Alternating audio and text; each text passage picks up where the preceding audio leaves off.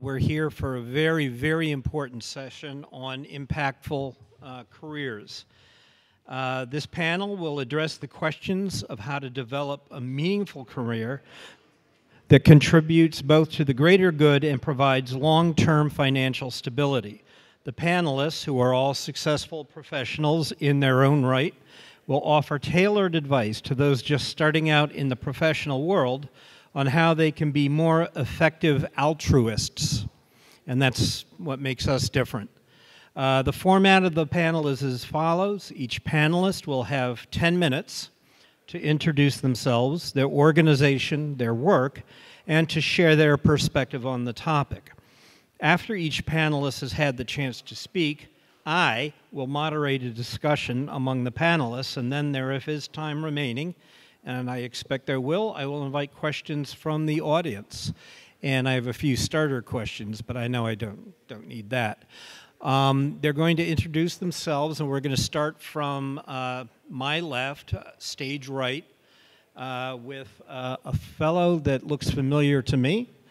And uh, everybody, uh, please welcome our speakers to Impactful Careers. Sir? All right, so my purpose is to try to interest a few of you into considering the becoming a professional assessor. An assessor's role is a professional job. I want to kind of give you my background to kind of give you some ideas of how you could get into it. Uh, first of all, I was a real estate major in college.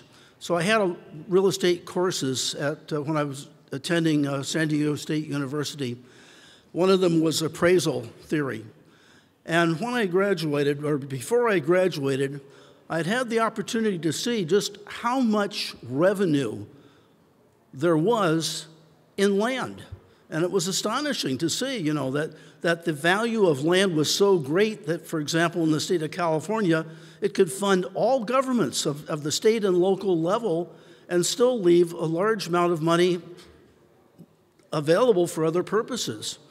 So this got me to thinking about, you know, right now, or, or at that time, um, we were only collecting a limited amount of revenue from from land. And it did make the most sense because it was efficient and because it was a, a source that could be readily used and applied. So I decided to take a look at the field of assessing. And to do that, I first of all became an appraiser. I got a job with a savings and loan. And during the first year I was working there, I was able to sign up for all the real estate courses at the University of California, Los Angeles Extension School. They had six courses on real estate appraisal and real estate theory. So while I was working, getting kind of interested in the whole field, um, I was also getting my education. Well, after working for the Savings and Loan for a few years, I had an opportunity to take a trainee job at a county assessor's office. It was Sacramento County, California. And so I went to work there. Worked there for a while. When I had a, call from a mayor of a small town in Michigan by the name of Southfield, Michigan. Uh, the mayor told me that uh, he had um, just fired his assessor because the assessor had been told that the assessments were unbalanced and needed to be revalued. The land was assessed far too low and the buildings were not depreciated at all. And he said, Would you consider coming to be the assessor of this town? And I said, Yes, I certainly would. I, I said, I'm only 26 years of age. Do you realize that? And he said, Well, that, that's all right. You know, you at least have the background. So I went, and when I got there, I was one of the youngest people on the staff of about uh, 15 people that worked in the office. Um, so it was kind of a fun way to start my, my career. Uh, what we did in that town was to virtually, the assessments on the land were so bad that we were able to, on average, double the assessment of, on the land value just to bring it up to what it should be. And because the buildings had never been depreciated, we were able to apply depreciation for the age of the building and lower them quite a bit. The net effect was neutral revenue. We increased the land values by the same amount that we decreased the building values. So, for the most part, when homeowners got their bills, they were pretty much the same, but we were able to collect a lot of new revenue from vacant land in particular. And at that time, the city only had about, um, about 16,000 people living there. It was small, and it had a good commercial center. It was adjacent to Detroit, um, well located. As a result of this, basically, very quickly, people understood that they better use their land more profitably, that the taxes were higher on those people that were inefficient users of land and those that had vacant land with no use. As a result, we saw enormous construction going on, and the city grew in population to uh, around 80,000 people. Uh, corporations were located there. We wound up with, with major corporations, several of them having world headquarters there, and other ones having um, regional headquarters there. And today, the city of Southfield is considered the business center of the state of Michigan, and is considered one of the more progressive cities um, in, the, in the Midwest. Um, I had a chance after being in Southfield of taking on the job of deputy county assessor in uh, Sacramento again, where I had also had my training. And from there, I had an opportunity to go to become the assessor of Hartford, Connecticut. All along the way, I was continuing my education, I was continuing my background. Um, I did have a chance at that point, though, to consider an opportunity to become a consultant to the province of British Columbia, Canada. Uh, there was a new government there that was looking for experts in different fields, uh, including auto insurance and other things that they wanted to reform, one of which was assessment. So I was given a one year contract to set up a better assessment system for British Columbia. Uh, I met with the, the leaders of assessment in the province, and within the one year that I was on my contract, we completely reorganized the assessment system. Instead of having 115 municipal assessors um, we brought it down, broke it down to having 27 regional assessment districts. And we would have then a professional sized staff of typically around 30 people for each one of the districts. That way, you would be able to get well trained people to really do the job, get the job done right. It was considered probably one of the best assessment reforms that's ever been done anywhere in the world. And it continues today after many years. I went there in 1973 so it's been a long time since that system was set up. And it continues on today. And in, in British Columbia, more than half of all the revenue from the property tax comes from land. That was because we always put land first. We always said that it was most important to be able to get as much revenue from land as was possible. And this was true in all the cities I've ever worked at. Um, from there, then I became a professional assessor for several years, working for Bank of America and for other banks. And during that time, I was given the opportunity of, of going with other Georges to work on setting up assessment systems in the former Soviet bloc uh, countries. We had a success in uh, Estonia, in particular, Tallinn, Estonia adopted a land assessment system that we had, uh, that we had put together for them. Uh, we also put together a, a, system for Novgorod, Russia, and I'd also put together a system in Jamaica. Um, an interesting thing is that I was also offered a job in 19, 1991 uh, to, it was actually 1990, to actually set up the assessment or set up the financial system for the city of St. Petersburg, Russia. And I was supposed to work with another fellow by the name of uh, Valdemar Putin in setting up their financial system. I turned down the job. Putin, of course, went on to become the president of the country of Russia, and I'm kind of glad I turned that job down. So I've kind of given you this background. My whole idea that I want to accomplish today is to get you interested in at least looking into this field. To me, it's been a lifetime experience. I've had so many opportunities, I've met so many people, and I can see the results of the work I've done. It's actually helped many, many places where I've worked. And so I'm encouraging you to also look into this as a field. I've done very well in British Columbia. Uh, overnight, uh, I inherited a staff of 765 people. and I had a salary that was commensurate with, you know, the pay that a, a major manager would make.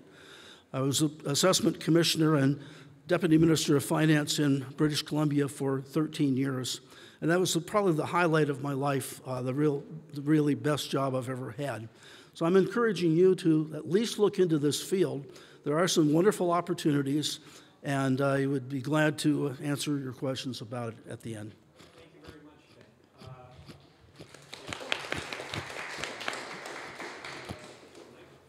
Anyhow, uh, we have two PowerPoint presentations, I believe. And Sonja, do you have a? I don't. Okay, then you're in luck. So Philly's in the house. Uh, I'd like to ask uh, Sonja uh, to uh, take over at this point and just describe what's what's up. Thank you. Are the other two off?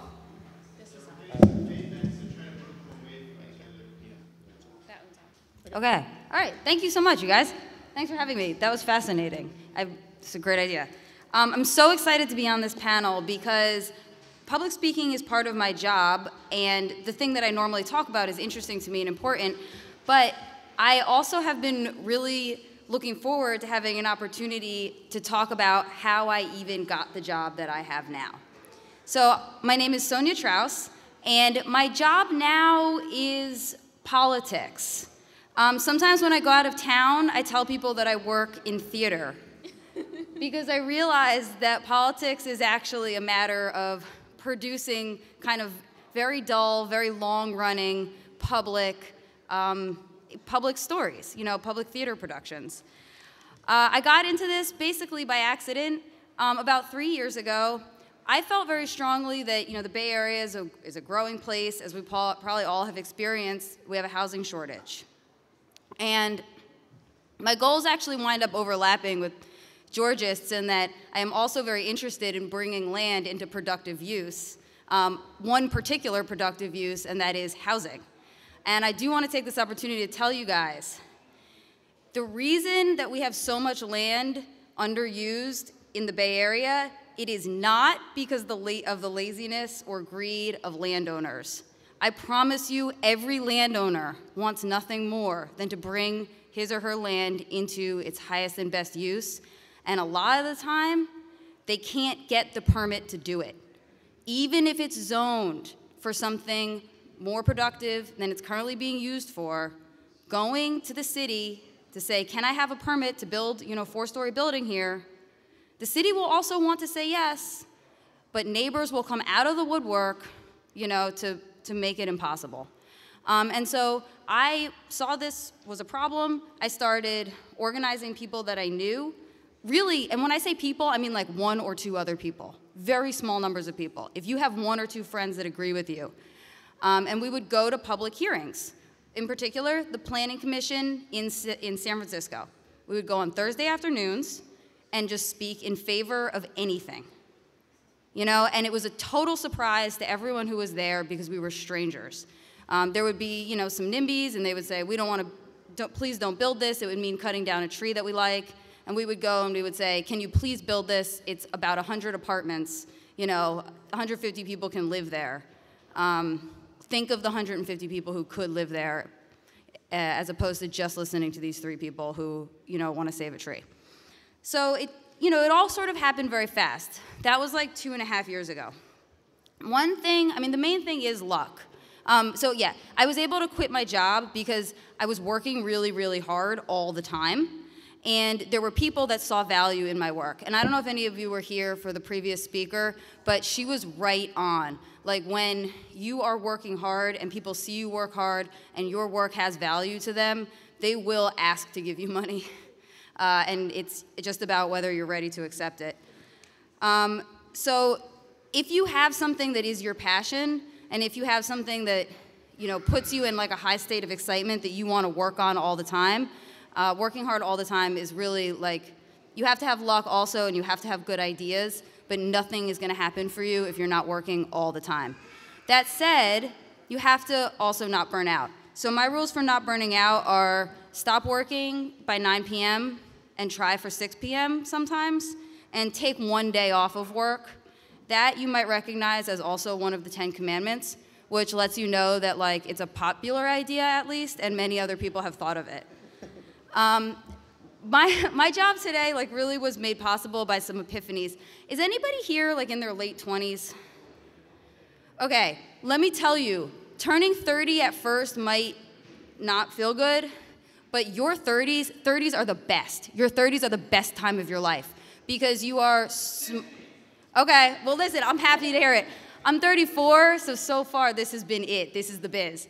Because, like, uh, you're not as dumb as you are anymore, you know, in your 20s, but you're young enough to still be able to do everything you want to do. Um, so I realized I like got really, really depressed when I was 30. I actually consider it kind of a psychedelic experience because the depression was tied to the fact that I was like going off, sorry, some long-term um, antidepressants. And as it turns out, if anybody here is on Lexapro or anything like that, you go off it. Six months later, you might experience like a new hell that you have never known before. That's part of the withdrawal. So I don't regret going on. I don't regret going them off. I just want everyone to know about that. Uh, but so during that like two, three week lowest point, I realized a few things. One of them is that all of life is a do-ocracy all the time. It's not just when you're participating at Noisebridge. You know, that anything that you can see that needs being done, if no one's do it, you can always just do it. You don't need to ask for permission. Related, no one's in control and there's nothing out there. And nothing really matters. So those sound kind of pessimistic, but like really realizing that, like really realizing that there is no one to give you permission to do anything. And honestly, nobody who really can give you advice. Um, it inspired an incredible feeling of like motivation and freedom. Um, Machiavelli says in The Prince, only a wise man gets good advice. Which means that at the end of the day, like you, it's all, the only thing is you. Like, you have to decide to take whatever advice you get. You have to decide to learn from whatever experiences you have. And you have to decide what advice or experiences aren't representative and aren't worth learning from. Yeah, so that's all, there all you have. There's no way out of that. Um, so, those are my main pieces of advice for having the, the, the job that you want. Um, I don't know about long term financial security. I have, I did incorporate a C3. Um, I am paying myself right now. I am not sure that I'll be doing this in two or three years, and I don't mind. I think that that's fine. I'll just do something else. Thanks.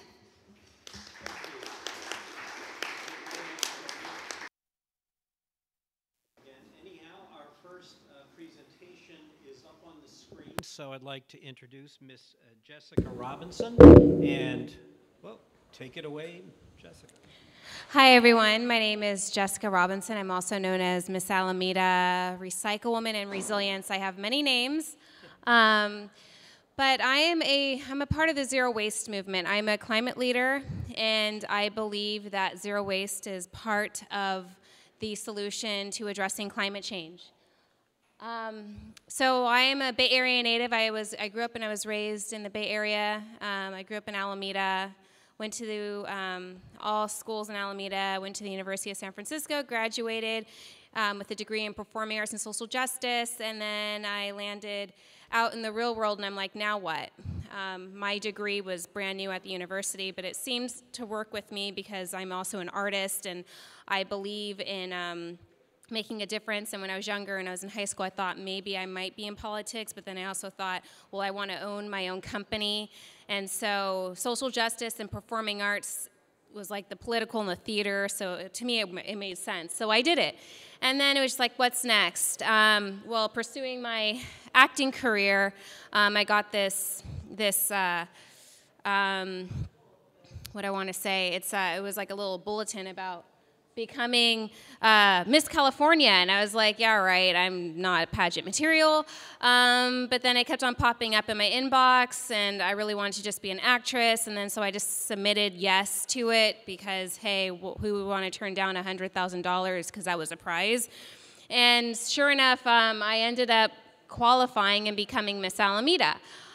Um, and that's where my journey began because it was actually the pageant experience and thinking that I needed the crown in order to help save the world, um, which I really truly believed, I actually discovered this this this saying that my grandmother and everybody else had been telling me about the present moment, right?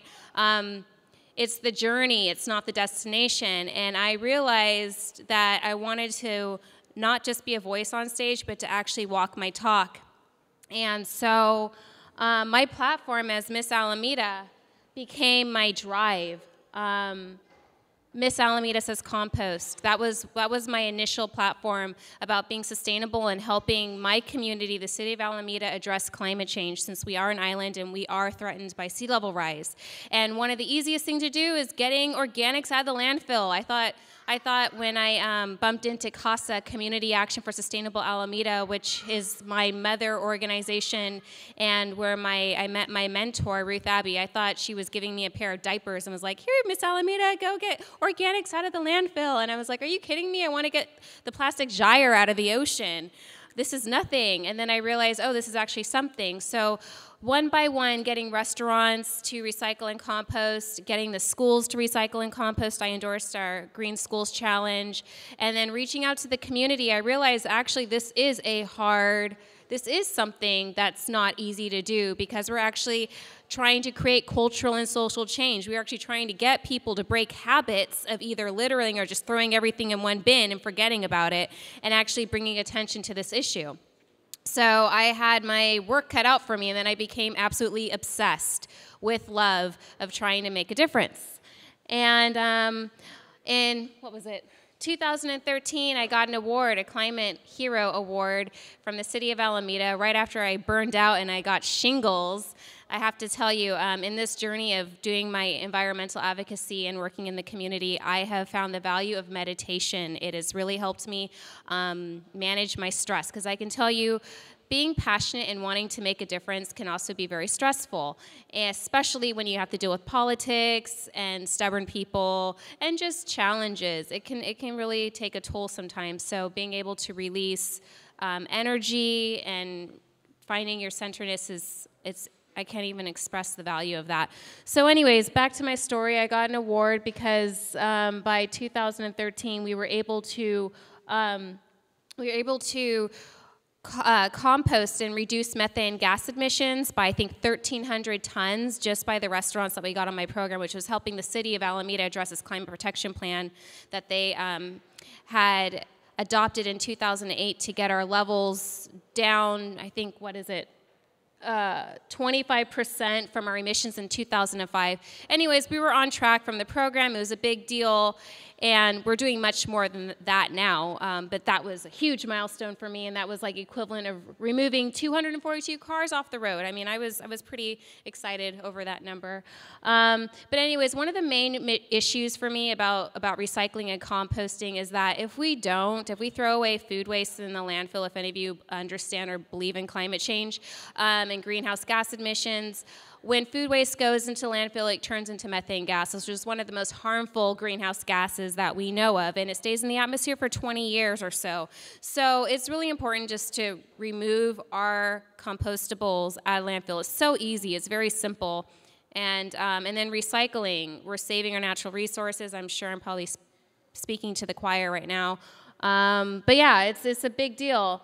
And um, so, anyways, my passion, I wanted to get this message out to people, and so I decided, yay, to incorporate my theater, my, my acting, what my passion, the reason why I even got in this mess in the first place. So I turned uh, my platform into a superhero, Recycle Woman, and I made a little short film just to bring more attention to it and also to prove to my grandma that I wasn't giving up on my dream as an actress as I became obsessed. And then everybody was like, You should bring this to Al Gore. He needs to know about this, he needs to endorse it. So I was like, Yeah. So then I became a climate leader, and uh, that's me right there, and that's Mr. Gore.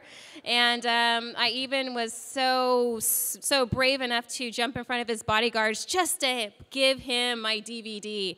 It scared living daylights out of me, and I'm sure it scared everybody else.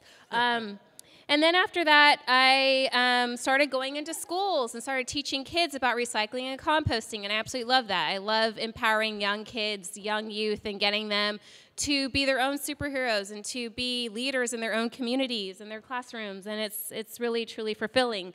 And um, and then I decided I need to get this out to the world. So I have morphed into resilience because I realized after becoming a climate leader and really trying to understand the depth of climate change and how it impacts the Bay Area, I realized that my message goes much deeper than recycling and composting. It really goes into sustainability, into understanding our community, understanding our needs, and understanding how to find the balance and how to be resilient and how to adjust, because that is something that we're going to have to do when we address climate changes. We're going to have to adjust. Um, the planet's going to change. Everything is, I mean, everything is changing. I mean, I don't know if any of you have grown up or raised in the Bay Area like me, but the climate here in the Bay Area has definitely changed from when I was a little kid. It's not the same, it's not normal. Um, anyways, um, so I turned Resilience Birthright um, into a nonprofit. I, have, I officially have a 501c3. Um, I'm creating a graphic novel that's going to turn into a television show. So my graphic novel, think Batman, Superman, um, Wonder Woman, all of those things, but then also reflecting reality. Um, and so, graphic novel, I also want it to be very beautiful because I'm artistic. And um, that's my story. If you want to know more about what I'm doing, what's going on, the graphic novel, um, I also have documentaries that just kind of go more into the basics and also infrastructure that we have here in the Bay Area that can help us address and solve climate change by just our own individual actions as well as community development and coalitions. If you're interested in all that information, go ahead and text. Uh, uh, RB for July to 97000. Anyways, I will connect you to uh, the work, and I promise I won't spam you. Um, and yeah, thank you.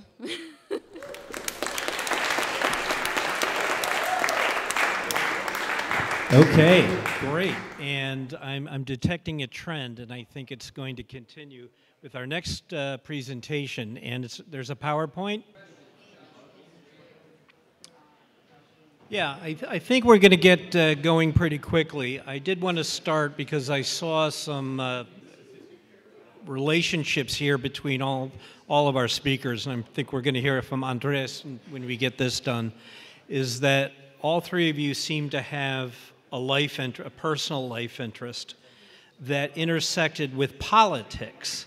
And most people hate politics, I believe. But why is it that politics seem to be the avenue that all three of you, and I bet four, uh, became the avenue? Why politics? Uh, ladies? Ted? Well, I didn't. I didn't. I didn't intend to get entangled in politics, but I realized that's where you make change. Even on a local level in Alameda, you have to work with your city government. You have to work with all the contractors. I mean, if it's even something simple as getting people to compost, right? Someone has to pick up the service. Um, someone has to oversee the local hauler and make sure that they're actually doing their job, right? There's all these checks and balances. Like you, at some point, I think in anything that we do, there's politics, and that we, in order to make anything happen, we have to work with other people. Um, and making local change, you do have to deal with your with your local government, and so it's just I think that's just the beast when it comes to doing something big, even if it's something big locally. It's just. Right. Sonja, what do you think? Yeah, politi- politics is awesome. I don't know why anyone would not like politics. Um, it's it it does it mediates every it mediates everything we do with other people. I mean, if you are only having a project with two or three other people, then that's that. But anything that you want to do that you think you're going to affect a lot of people, I mean, the way that the the sort of channel along with along which that um, effort travels is politics. So even if it's not something explicitly political, right? There are some people who are activist shareholders. That's an example of people who are like doing politics uh, but not with respect to like a government. Um, or even if you're if you're organizing workers, right? That's politics, but you're not organizing people to vote necessarily. You might be organizing people to strike or organizing people to have some interaction with respect to you know your um, your employer. All of those are politics because politics is what we call any activity where you're trying to interact with like hundreds of people at once. I think. What do you think? Okay. All right. Now he's a rock star, so he's going to do it standing. All right.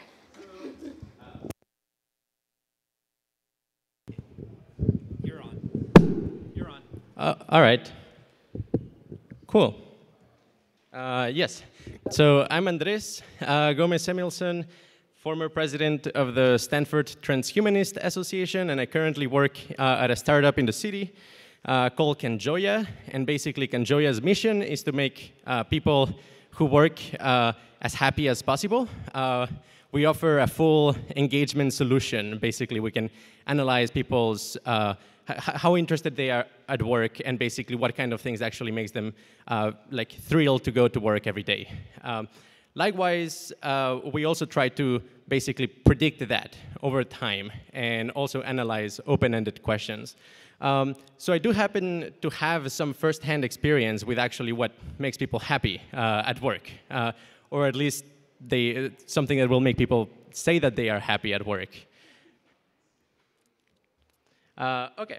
So the, the, the, first thing I want to sort of define is what is an impactful career. So I will define impact to basically be the multiplication of these two components. The first one is the utilitarian factor, or the mean utilitarian factor, that is, on a given unit of time, how much impact your career actually has.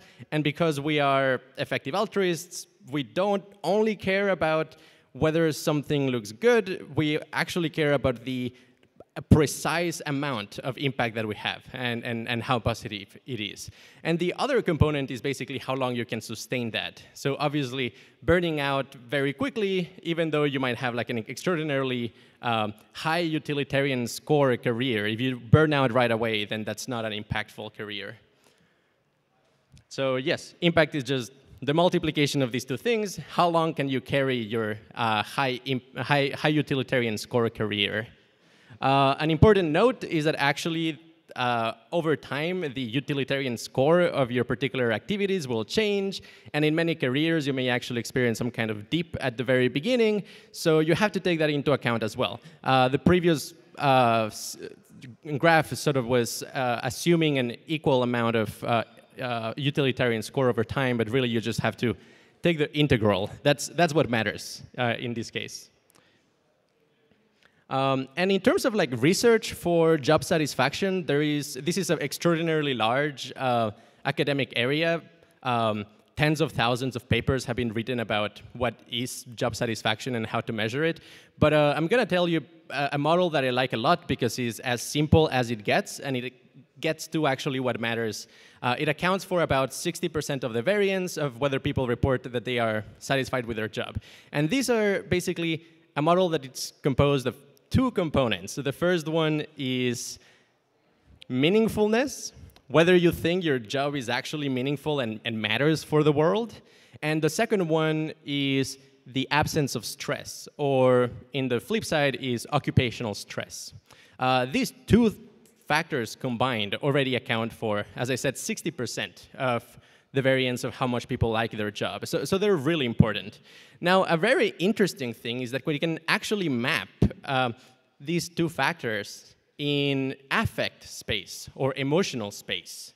And this is what emotional space looks like. This is uh, called the circumplex model.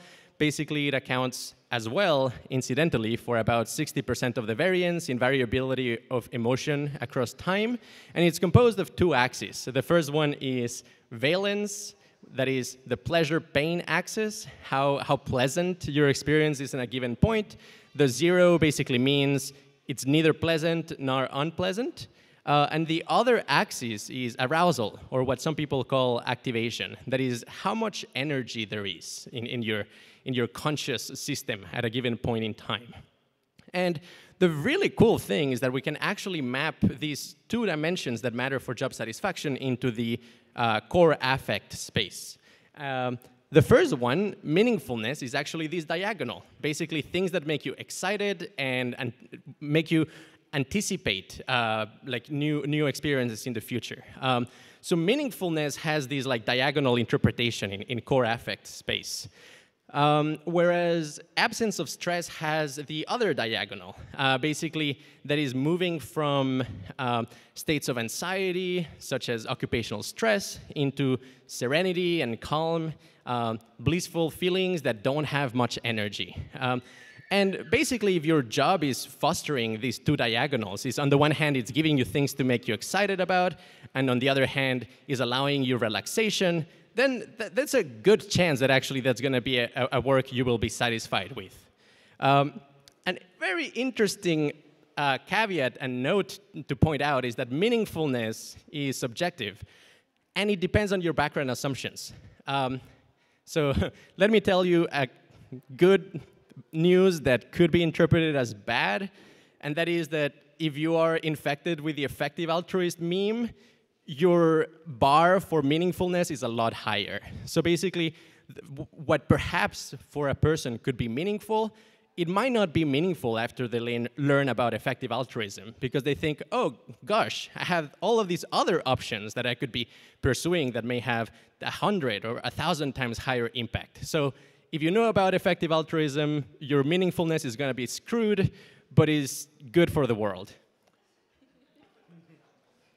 Uh, now, let's talk a little bit more about emotion. Actually, the core affect space is really interesting, the, the valence and arousal, because it was originally designed to uh, basically identify dimensions in emotions that are uncorrelated with each other, so that you can find any emotion that is in, in, in any part of that space.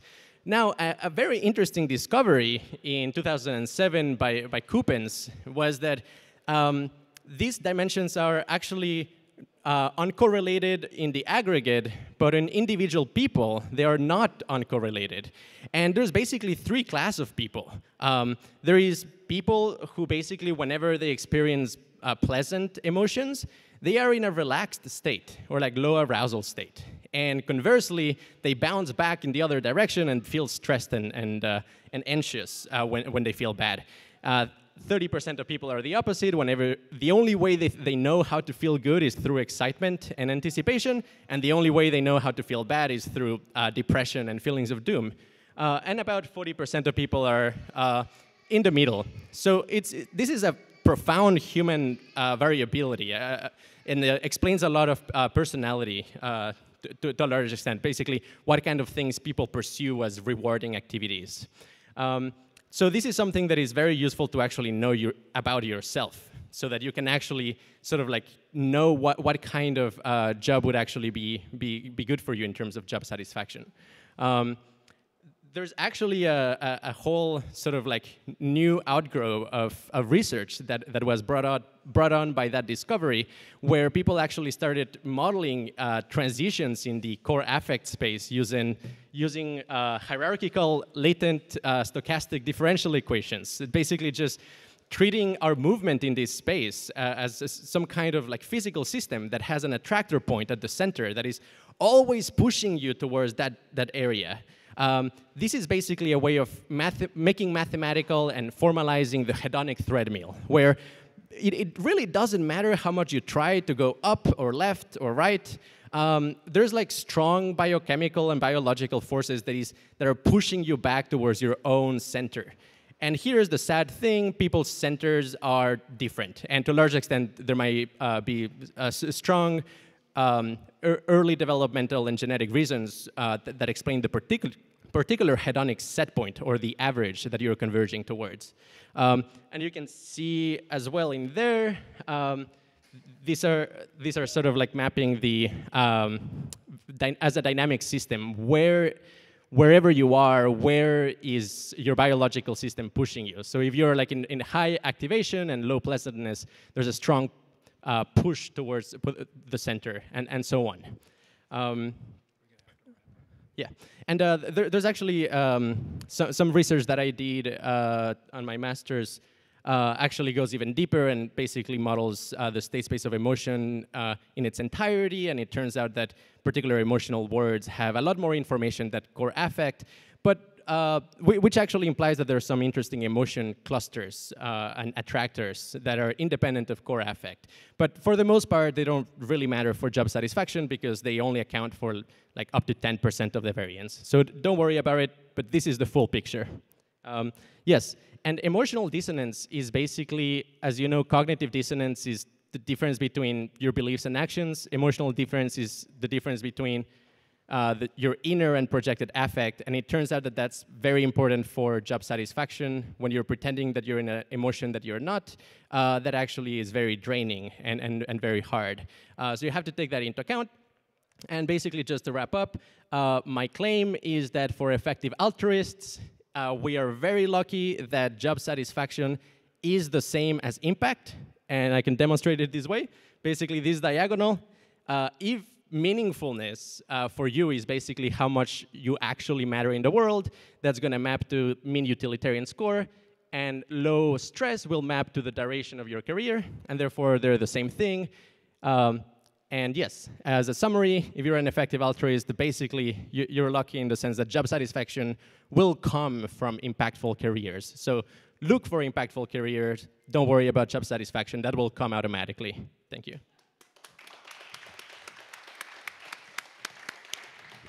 Great, great job. Uh, I'm going to moderate myself. We're just going to take a Q&A from the audience, uh, and we will start right there, sir. When you said take one day off, was that per week, month, year? Yeah, one day per week. That's my recommendation. And it's hard. I mean, it's um, also, Jessica talked about it. Uh, you kind of have to be disciplined um, with taking off to force yourself to do it. And uh, Nate?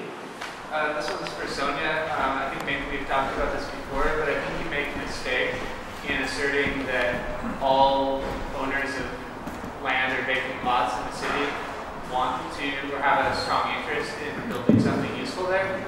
Um, just because every time somebody proposes a building, a bunch of NIMBYs come out and, and protest or oppose it, doesn't necessarily mean that all the the, the landlords that are silent that you don't hear from aren't perfectly happy with that situation.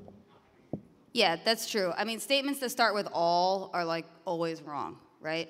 Um, but uh, I do think that the if we if we had by right development, our problem with uh, land laying fallow would be much, much less. I mean, if I guess what I'm trying to say, if your goal is to have as little land laying fallow as possible, there are many, many um, public policy uh, sort of levers, and one of them that would yield a lot of really great result is reforming entitlement.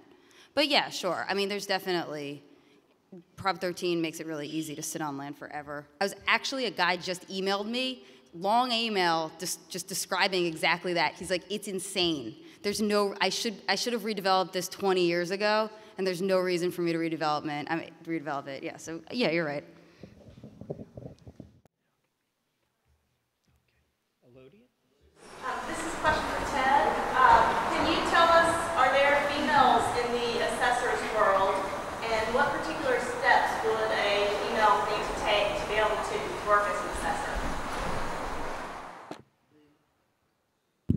The, the answer is there are many, many uh, female assessors. Uh, in fact, I would almost say that half of the assessors in the United States are female. Uh, and they do some of the best work. Um, some of the fe female assessors in Connecticut, Connecticut, where I worked my last um, 10 years of assessing, uh, were innovative they brought in new ideas, new methodologies, and they were professional and they were respected for the innovation that they brought in.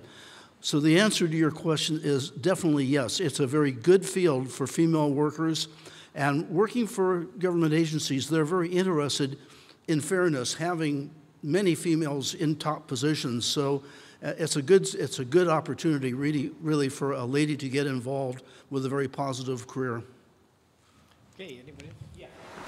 So I have a question. This one is um, about meaningfulness careers.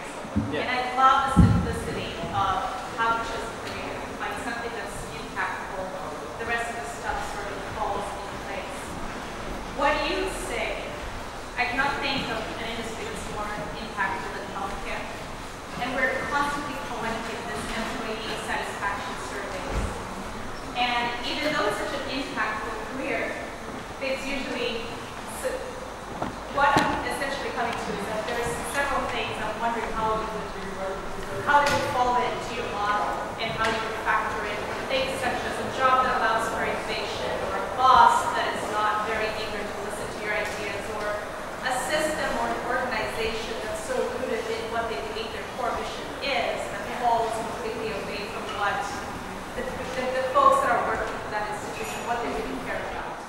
Yeah, uh, the company I work for basically uh, it creates tools to identify uh, any kind of problem in in, in uh, jobs in the corporate world and even in, in, in public.